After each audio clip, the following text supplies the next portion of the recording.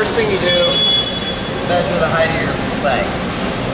These legs are five inches tall. That measurement is going to determine how much we cut off of these skirts. So for the beam skirt, we're going to take that five inches and add a half inch to it. So I'll set that up, come here, make a mark all the way down the skirt. And that'll be where we cut. I went ahead and got and did the cut on a prior piece before. So what I'm going to do is I'm going to slide that right down in here in the groove in both the beam and the legs.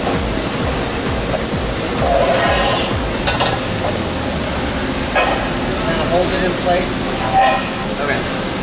So for the part that goes over the cross brace, we're going to subtract one from the overall length height of the legs. So that's going to be four inches. So we'll make a mark here and cut that just like we did the other.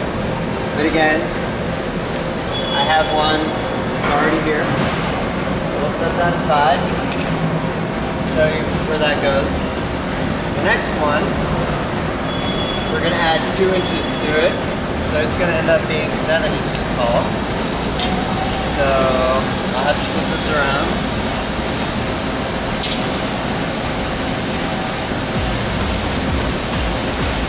And then make my mark.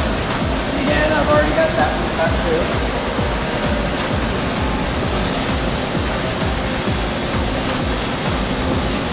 Got seven inches there.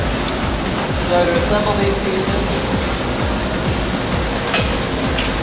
assemble the skirt, the frame like you normally would while holding that skirt in place.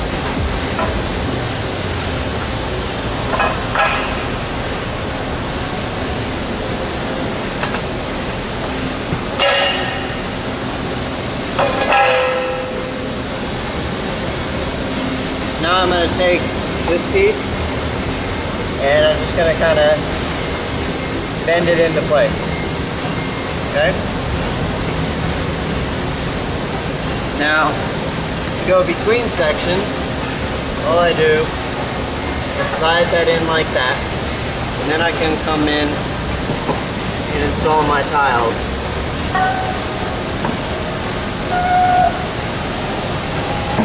Directly across.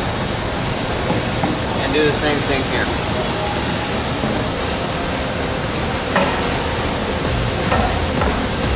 Just continue that down the line.